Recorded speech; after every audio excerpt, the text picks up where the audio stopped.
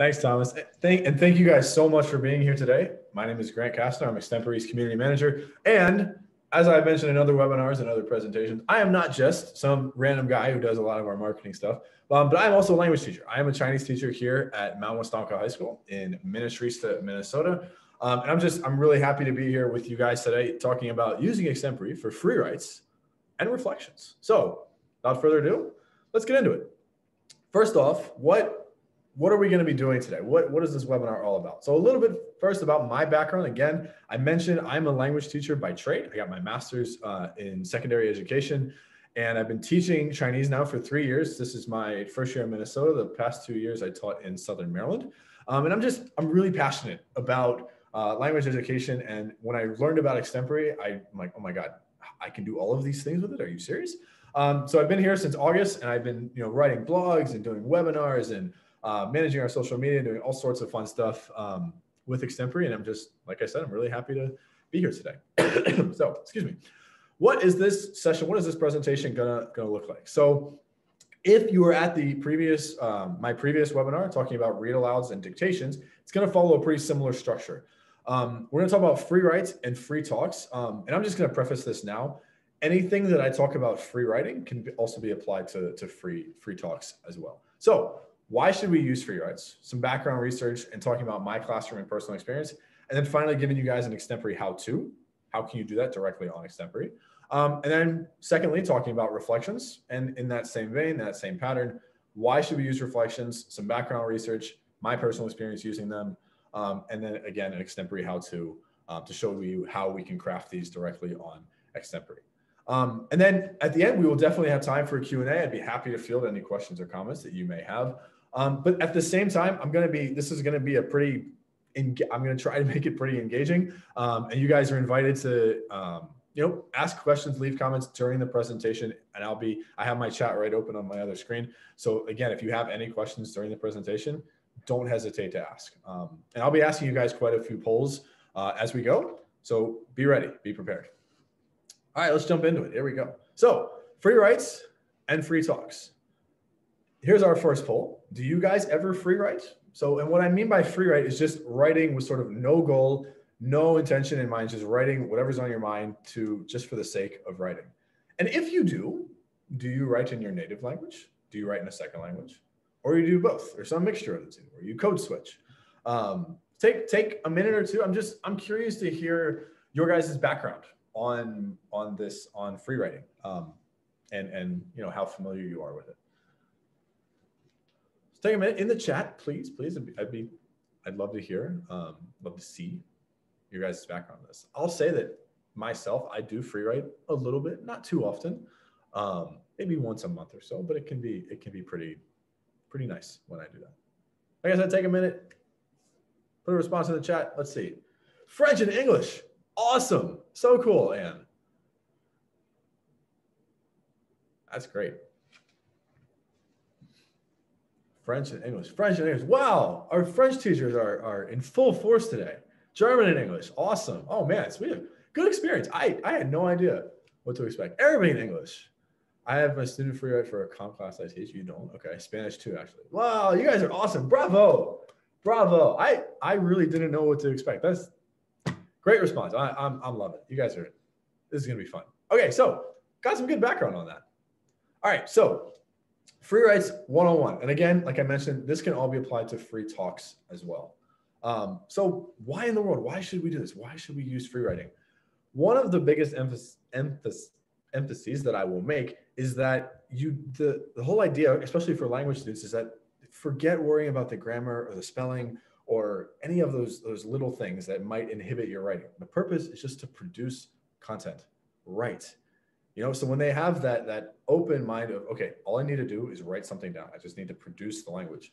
Well, that's going to help them reduce anxiety, and eventually, in turn, it will help them build fluency.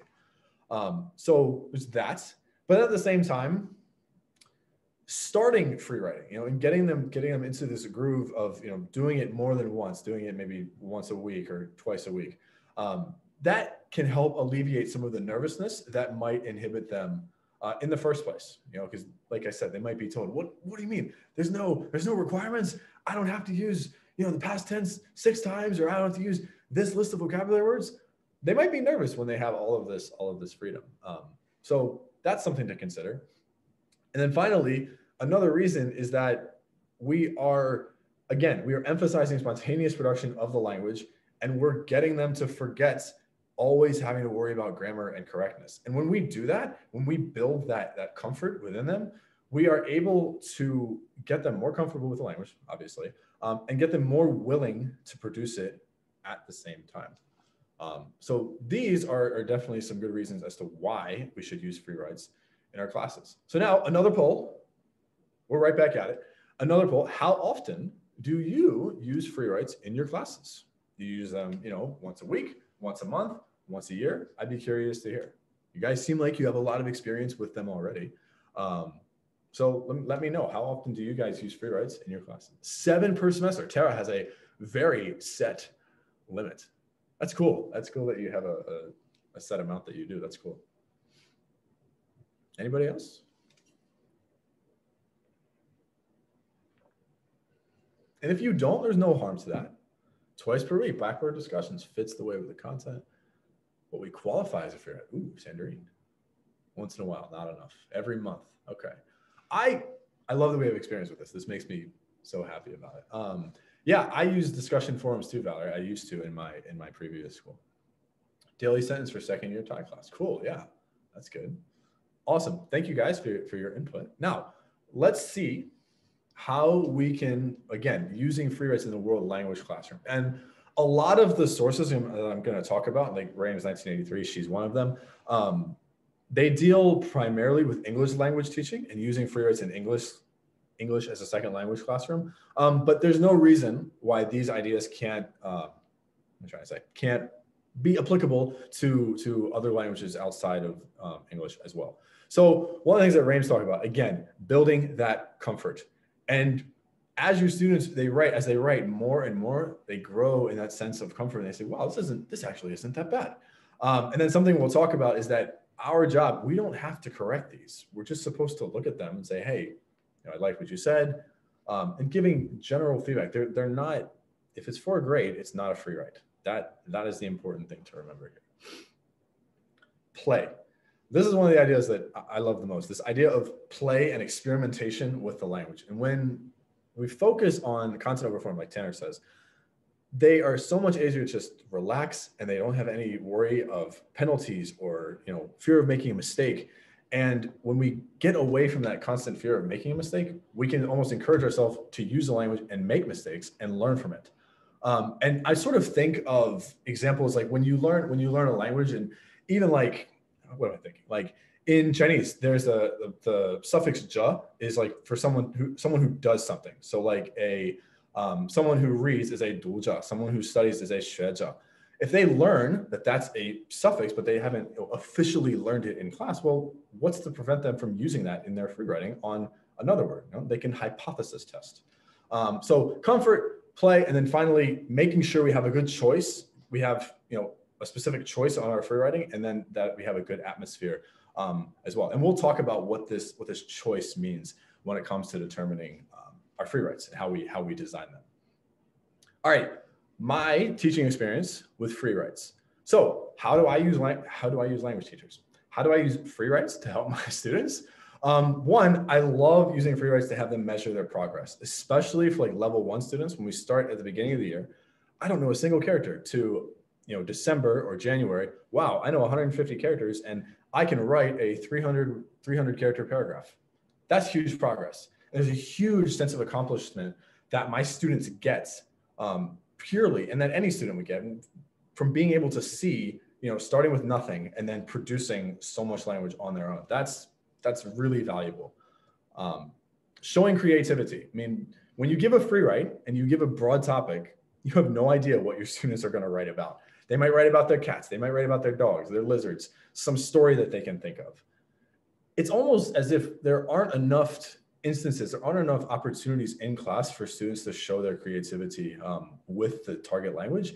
And this really, free writes really allow them to, to you know, get a chance to show off that creativity, you know, be artistic with the language. Challenge themselves. In the same light, using free writes to challenge themselves. You know, how much can you write? Can you write 500 words in Spanish? Can you compose a story on your own using the language that we've learned? You know, using free writes to get your kids to challenge themselves is, I think, really valuable. And finally, like I mentioned, experimenting and playing with the language, hypothesis testing, and using it in ways that they haven't learned before. Free writes with creativity um, can really just open up students' minds and get them to really, you know, figure out how to use the language in ways that they that they haven't used it before. Alrighty, so that's a little bit of my experience. Another poll. We're keep going. We're going. We're going. Okay. How can or how do you? You guys seem to be pretty pretty active with these free writes in your classes. How do you use free writes in your language classes? You guys say you use them a lot. What under what circumstances do you give certain um, requirements for them? I'd be curious to hear if you guys can share. Let's hear. Let's read, I should say. So I'll give an example. One thing that I do is at the end of a unit, I'll always have a free write at the end of a unit just to see, okay, we've learned all of these words and characters. How can we use them on our own now? That's one way that I'll do it. Take your time, no rush. I'm talking a lot. I know.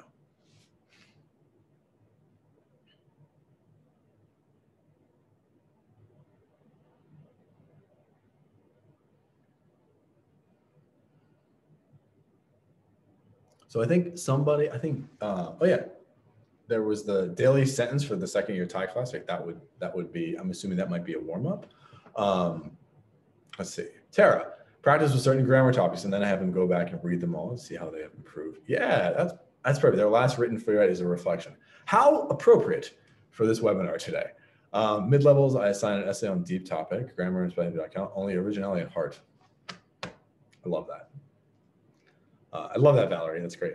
Storytelling based on pictures. Sure. I do that too. Yeah. Just give them, I like, so I like to use the WikiHow images because they're kind of awkward and funny. And I'll just say, okay, here's like four pictures. Now tell a story with them. Yeah, that absolutely counts as a free write.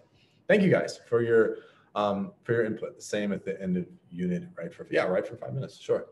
Um, awesome. Yeah, thank you guys for your input. And now let's take a step back and let's see how can we create a feed, create a feedback, create free writes on extempore. So here I am. I'm going to go to my class. We can see I have my winter wake webinar up class. Yes, that's that's that was my typo. Uh, I'm going to create an assessment. So okay, I can say, all right, my assessment name, free write one. Assessment timeline. I'll give them a few weeks. Uh, but again, need to remember here, respond with text. So all parameters, uh, assessment description. This is a free write. Write as much as you can. Um, and one thing is that I'll actually give them a time limit on how much time they have to respond. And I'll give them, if I do it on extempore, I'll give them 10 minutes um, because I don't want my kids just sitting here for, for 30 minutes trying to, you know, think of something and write what you can in 10 minutes. If, if you're done, if you can only write so much after 10 minutes, that's fine right? I'll get a good feel of what your level is based on how much you can write um, in this time. So I have my parameters, I have my assessment all set up, I have its foundation. And now I can finally add a question. So I'll say, okay, free write topic. A free write topic, I'll say, okay, you know, write as much as you can. But here, and I'm going to get into this when I talk about tips for using free write, I'm going to give them a topic. I'm going to say, um, talk about what you do on the weekend.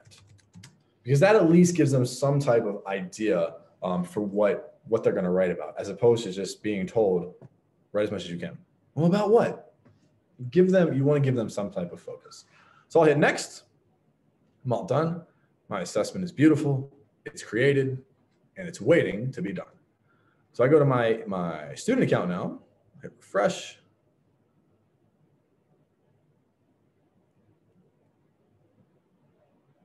And here I am. I can open my free write and it's going to tell me when I go to question one, oh, I clicked a little too fast. Sorry about that. Um, but it's going to tell me I have a time limit. And so now I see, okay, I can write as much as I can. As soon as I click into this box and I start typing, you'll see that timer start to go. And I can say, you know, on the weekends, I normally like to go to the park. something like that. Also, whatever, right? The free write has begun. They have their time limit, and this is what they can do. So I'll hit submit. My assignment is done. To my activities. And now I've submitted my free write as a student and as a teacher. I refresh my page and I can grade it. So I go into my grading page, got my free write, my student's free write waiting for me. That's me, Grant. And I can see there's my student response right there. So I can give feedback, I can give audio feedback, I can give video feedback if I wanted to. I can say, hey, you did a really great job on this on this free write. I thought the way you use certain grammar patterns or vocabulary was really creative. However, you want to do that. Um, so I'll say, you know, great use of prepositional phrases. I don't know. That would mean a lot to me if I was a student. Um, so I can say that. And just like that, I have a completed free write. I have my, I created the prompt. I have the student response, and then I've given the feedback as the instructor.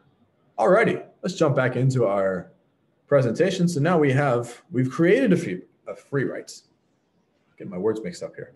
Um, but now I want to talk about some things we should know about, some tips we should have when it comes to designing free writes. First is will you have a focus? Do you want to give a pure free write or a pure free talk? You can give a pure free write. There's nothing wrong with that.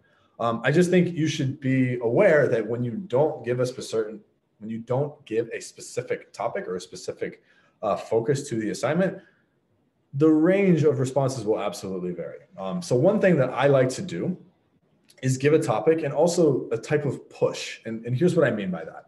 So for example, a topic might be, okay, here's your free, right? Talk about anything related to travel preparation, anything.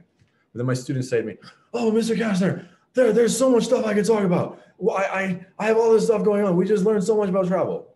Okay, here's a push. Here's an idea. You lost your passport. What do you do? Right? That could be a free write. You know, and they could modify that. They don't have to do this. That's the thing with the pushes. They don't have to follow them. It's simply an idea. You lost your passport. They could do, I lost my luggage. I lost my computer at the airport. I got lost at the airport, right? Anything like that. Um, they're just pushes. They're, they're extra ideas to take a broad topic, talking about travel, and just narrowing it down some and helping them figure out what they're going to write about. So, two more examples. Discuss technology in your life would be a topic, a little push, introduce an American app. Technology, app, narrowing it down. And then finally, writing about art in your home, very broad topic. Narrow it down, talk about your favorite painting that you owned. These are all just simple examples of, you know, okay, what's my topic?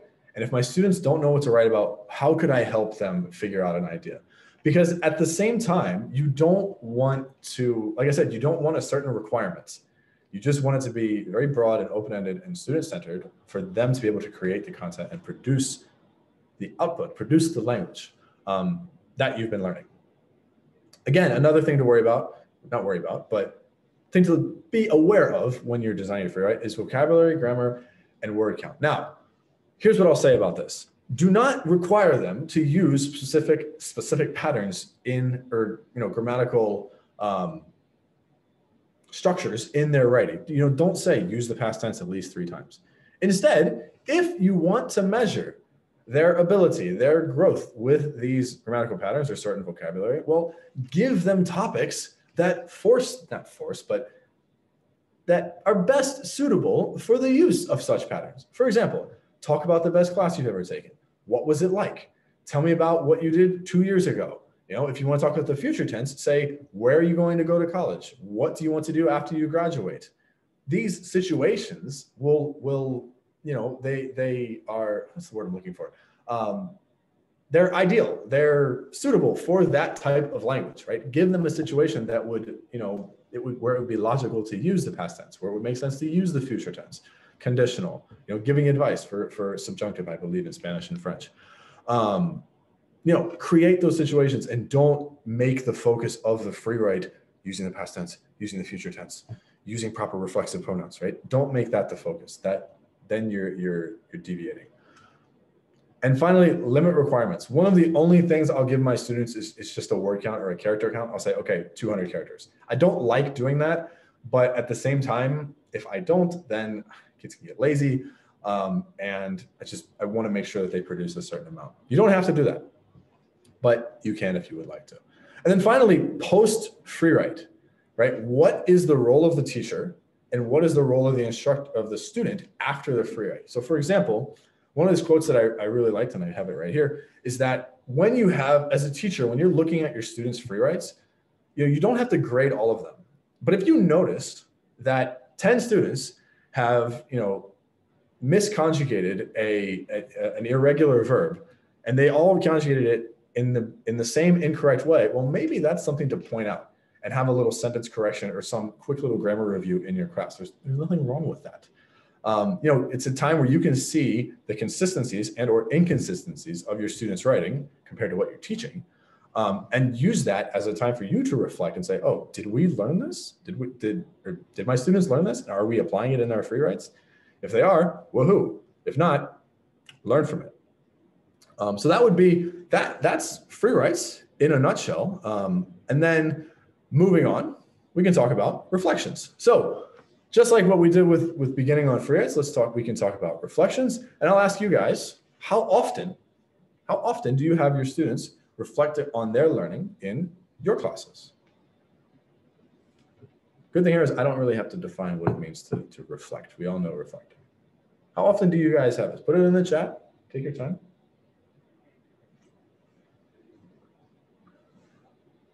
Daily, yeah. Every class.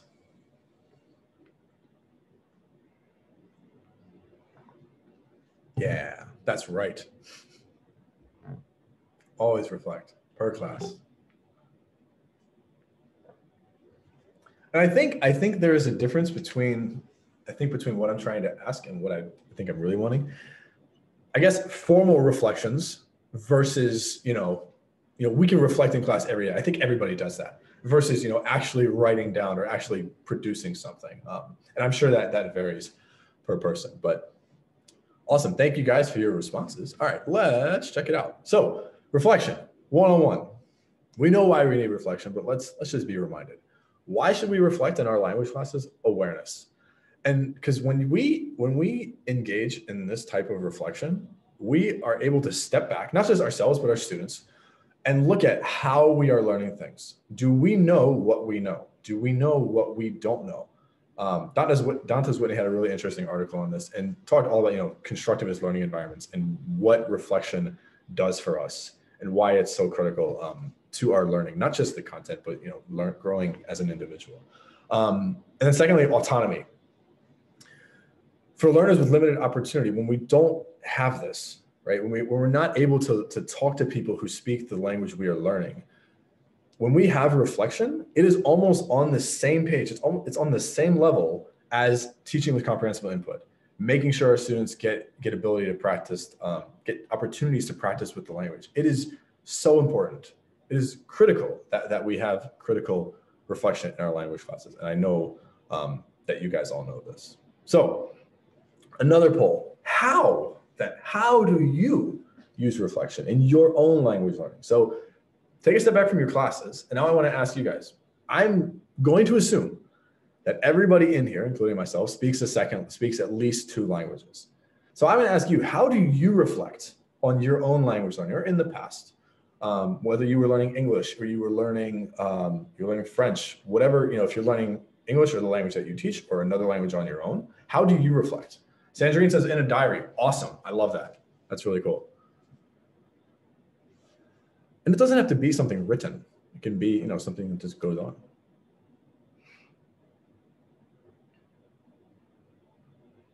In a diary. Filling in course evals. Yeah, that's great. And reflection is not little notes. that's good, Anne. Discussions form habits. Course evals. Yeah. And and reflection is not oh it doesn't have to be an individual activity either. It's definitely something we can do with with other people. Um so, you know it's not limited to that.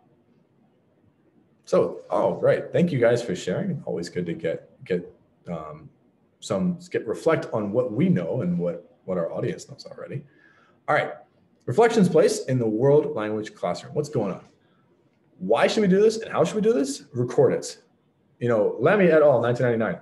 1999. Technology was not what it is today back then. Um, she suggested when we have this opportunity, we have all of these mediums, especially, I mean, the article referenced it as the World Wide Web. Um, we have the internet, we have the cloud at our disposal. We should use it. Online conversations, you know, whether you're putting it in a discussion forum, you're putting it on Padlet, you're, you're having them record it on extempore, right? This, we need to be using online sources so that we can compare our reflections. I believe somebody in the, in the, um, in the chat mentioned comparing free writes, right, across this, across, um, you know, periods of time. When we have our reflections, we can compare them as well. That's, you know, reflecting on our reflections. Meta, but super valuable. I mentioned earlier, knowing what we know and knowing what we don't know. When we help our students reflect and when we encourage them to reflect, we they are building you know their own personal learning process and they're getting to know it's it's metacognition what they need to to learn how to do better um, yeah. So my teaching experience with reflections, how do I use them in my class? Well, I use them to help my kids reflect. Think back, look at what you knew back then. Look at what you know now. Look at what's still confusing you, right? Simple reflection, that's important. Um, I mentioned earlier again, developing metacognitive skills. Do we know what we know? Do we know what we don't know? Do we know what's easy to do with Chinese? Do we know what's difficult to do with Chinese? Do we know what causes us problems? these type of thoughts, being able to think about our own thought process, those are important skills to have. Um, measuring linguistic and cultural learning. We're all language teachers, but we all teach the culture as well. And our students' linguistic progress is usually can be very, how do I put this? It can be quantified, right? We can see, oh, you wrote at the beginning of the, of the in September, you wrote a 50, 50 word free write. Way to go. In March, you were able to write a 400 character free write. That's considerable progress. But cultural learning, talking about our cultural knowledge and what we've learned from the culture, is it could be debated, it could be argued that it's even more important than our linguistic um, progress. Because you know that cultural learning you can take out and see all around the world, and it's so valuable. And so when we can measure our cultural learning, whether it's values, you know, the the products and perspectives that we've seen from the culture that we are learning about, and we can measure what we knew before, what we didn't know, compared to what we've learned about now, also a useful way to use reflections. Um, and finally, for me, reflection as an individual, forget being in the classroom, being a teacher, being a student. It is just such an important habit to have as a learner, as a person, right? And so I get my kids to reflect, obviously for their, you know, to see what we've learned, to see how we've grown, but just build the habits and build, you know, the, these important thought processes so that when they leave my classroom, sadly. But when they leave, they have this habit in them of, oh, I can reflect on this. I can reflect on anything that's happened in my life, whether it's at school, at a job, with my friends, in my family. Having a reflective mindset is is just critical. It's it's a very important trait um, to have. So these are some of the ways that I use them with my students. Another poll. Hope you're ready. Um, what are some specific topics you guys have your students reflect on in your classes? So whether that's cultural, is it is it linguistic, is it grammar patterns, is it nouns, is it idioms? What do you guys usually choose? I'm curious to hear.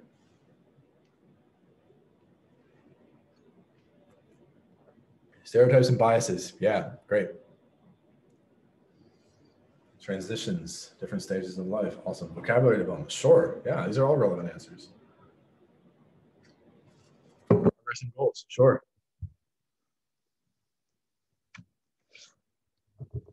Yeah, I think the, the oh KWL. Yeah, absolutely. Stereotypes and biases, right? All those cultural things, you know, what we what we presume about a culture, what we hear about a culture from you know the media that we see, versus what we learn it's actually like. Um, it's just so important. Vocabulary, grammar, culture, progress. Yeah. Awesome. Accent, accent, excuse me. Accent mark usage. Sure. Yeah, you can reflect on that.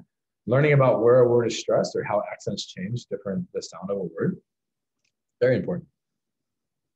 Okay, thank you guys. Let's create some reflections on extempore, shall we? We learned how to create a free, right? Let's create a reflection. All right, I'm gonna jump back in here. Now I'm gonna create an assessment. Call it reflection, and I'll pick a topic that you guys did. Reflection one. Here, I'm gonna give well, I'll give them plenty of time to do it, of course. Um, I like to have my students respond with video because it allows it allows me to really you know see how they're how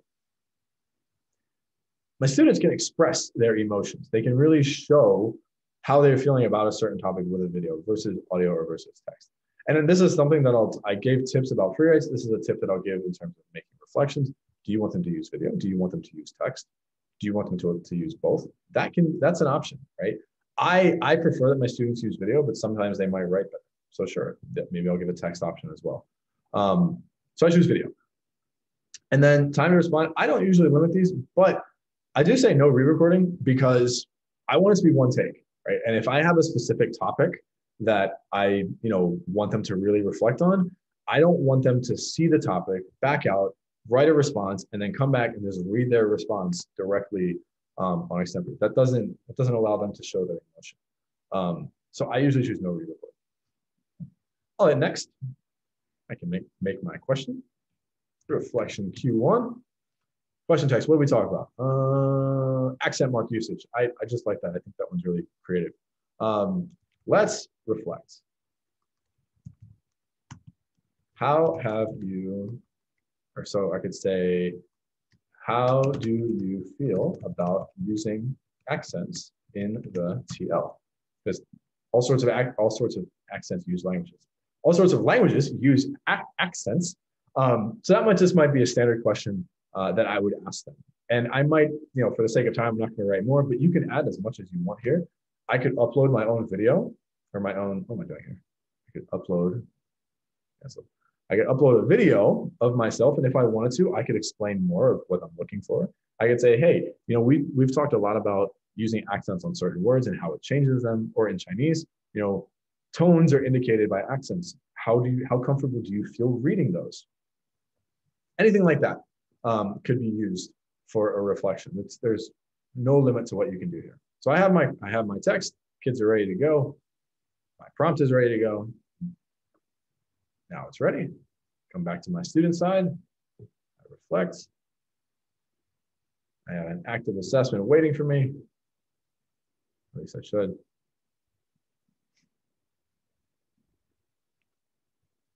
There we go. Jump in you'll see I had that no no re-record on. So it says, okay, are, are you sure? Yes, I am sure. Jump in. And there we go. How do I feel about using accents on the target language? Oh man, how do I feel? Uh, I think I feel pretty comfortable using accents. Yay. All done. There's my response. Um, submit. And I've completed my reflection. Just like with the free writes, I can come back to my class and I can, you don't need to grade it. I can view it. I don't want to say grade or reflection, but I can view the reflection um, and leave any feedback uh, that I would like to. Interesting thoughts, Grant. There's my feedback. I leave my feedback and my reflection is done. I viewed it. I can see my students' thoughts. Um, yeah, all right, so just like with free writes, I gave you guys some tips on, on making free writes. Now I'm gonna give some tips on using reflections with extempore and some things that we should be aware of when it comes to making them. One, choose a theme. I, I think choosing a theme uh, is really important. And again, just like with free writes, you don't want it to be super, super, super open-ended. Um, pick something for them to reflect on in specific. And that could be linguistic practice, it could be accent, it could be conjugating verbs, it could be you know learning how to write characters, it could be anything linguistic. And at the same time, it could also be cultural phenomenon. We've learned about in my class, we've been talking about what people do on the weekends in China and Taiwan. We could talk about, you know, marriage markets, night markets, uh, going to KTV and doing karaoke. What do you think about those things? What values does it show about their culture? These are relevant relevant themes for for reflection. Um, again, or not again, but Next point, target language versus native language. And there was a quote from Nattrass that I really liked, which talked about, you know, you might think, why would I have my student do a reflection in the target language? I know I wouldn't because my students simply don't have that level. And to ask them to produce, you know, a reflection of native language level in the target language with where they are right now isn't practical for my students. But when you think about it, if your students have the ability and they're at that level, I like this quote. He says, you know, it's made even more valuable by the fact that the words that the student is asked to write are about his or her personal experiences. And so that these words may have more personal meaning to the student. What do you think about that? You're writing in Spanish, you're writing in French, you're writing in German, you're writing in Thai. You're producing your language that you've learned about your experiences. I mean, that's that's really valuable. Um, so at the end of the day, this is really up to you whether you want your students to reflect on the target language or the native language, whether it's spoken um, or written. But there are benefits to, to both to both sides. Frequency, how often? And so what I mean frequent by frequency, what I mean is we're going to reflect in our classes every day on what we learn. What I mean here is a formal reflection, right? Are you, how many times are you sitting down and writing about what you're learning? And to me, I think spacing them out a little bit is, is more productive because then you get your students to really see the progress, right? Say from, from March to June, right? You know, how we learned, what have we learned culturally from March to June? Um, because if you have, if you reflect, if you assign formal reflections every day, I just, I don't think you're going to get the same type of response and quality as you would from say, you know, once every two weeks or once every two months. So that's something to consider. And then finally, I have mentioned spoken versus written, entirely up to you. There are benefits to both. Um, and you might even want to give student choice and say, okay, here I have a spoken one that you can do, or you can do a written one, your choice. Um, so that's, that is an option as well. And finally, yes, this is not limited. Reflections are not limited to the content that you teach in class. It's not limited to the language you learn. It's not limited to the culture that you talk about get them to reflect on the nature of your class as well. You know, I noticed I learned really well with, you know, so and so, or I noticed I don't think her and I or him and I should ever be partners again because, you know, I don't think I work too well with them. Get that honest feedback from your students, or I really like the way you do this in class, Mr. Castner, or I don't really like the way you do this in class, Mr. Castner. Do you think we could change that? That that that feedback is super valuable. Um, so don't limit it. You know, and that and that goes along with theme. You could change that. So a recap. Breaking it down, today we talked about free writes and reflections and why we should do them, how we can create them on Extempore, um, and just and their value that they have in language classes. You can use Extempore for both, as I demonstrated to you. It's a super valuable tool. Um, and it's really perfect for, for both of these things, especially with the timers and doing free writes or doing free talk and say, you know, hey, talk for three minutes as much as you can. Um, is perfect for that.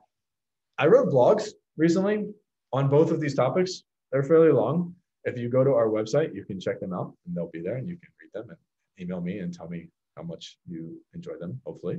Um, obviously, also check out our previous webinars if you haven't already.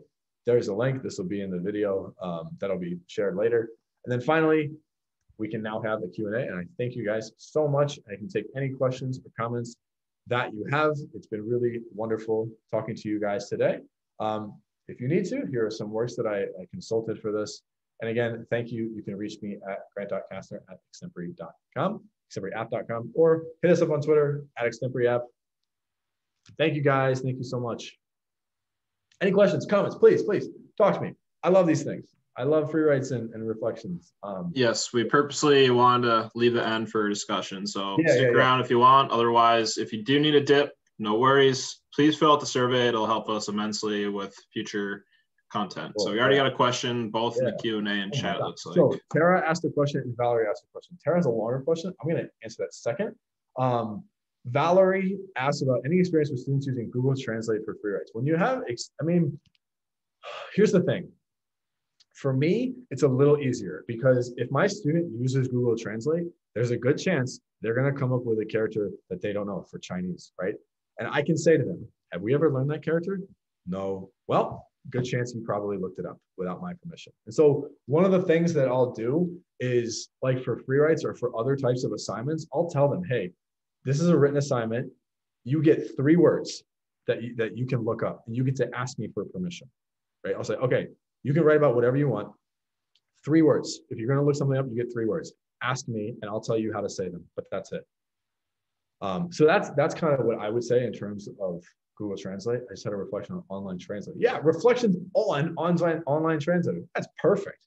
Um, the use of translators, I think, is a whole other topic. There's a really, um, it's it's a really it's debatable, right? Because translators can be very valuable tools if we know how to use them They can also be very dangerous tools if we don't know how to use them and they get abused. So there's a really fine line, um, I think, with translators, and that's it's a much longer longer discussion. But yeah, so the idea my, that was sort of my idea to say, hey, three words or four words, but you have to ask me if you want to use them. Anything else that we haven't learned, and you know, I'm going to deduct points. But that's normally not for free writes. Free writes are supposed to be, you know, on your own.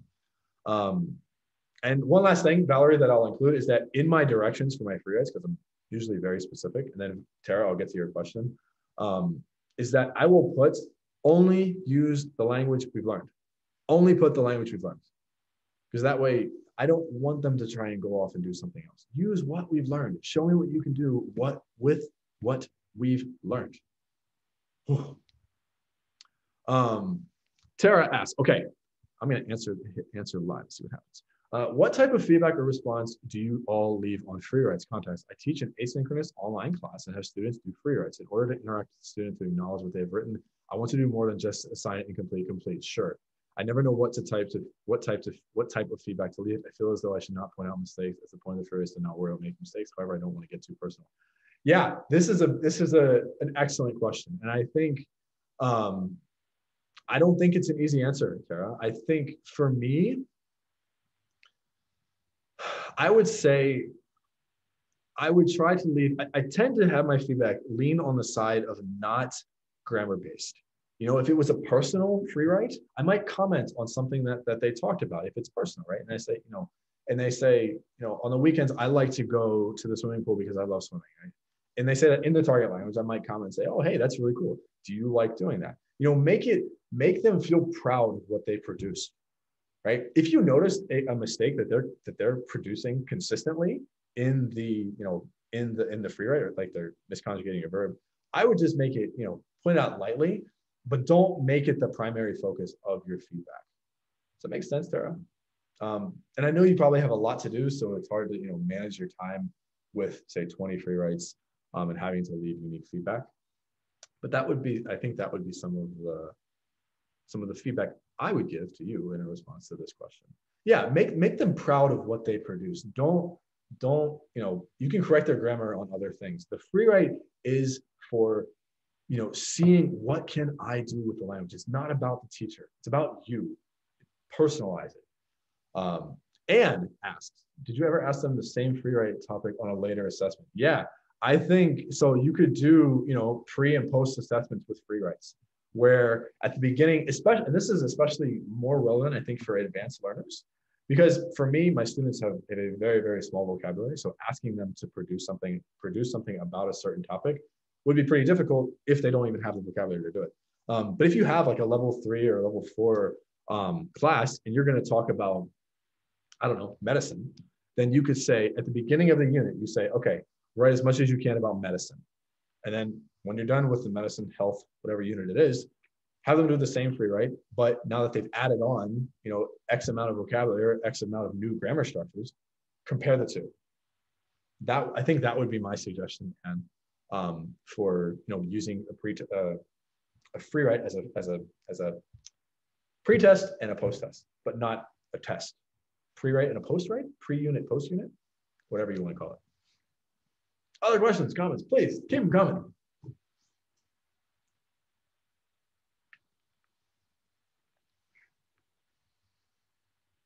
I'll be here all night.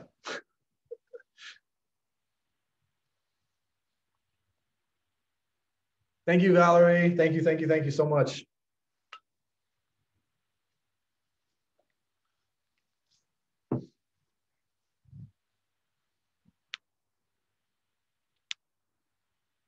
And again, I'll just mention, um, check out the previous webinars by Sandrine. Um, and I wrote blog posts on all of these things because I'm a big nerd and I, I love talking about them. So check them out if you get a chance.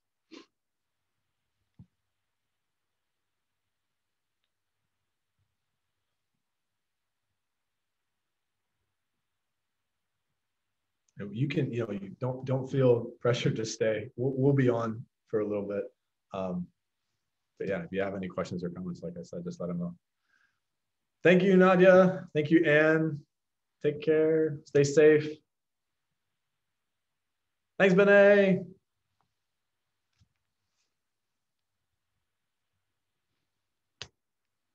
Au revoir. Au revoir. Au revoir.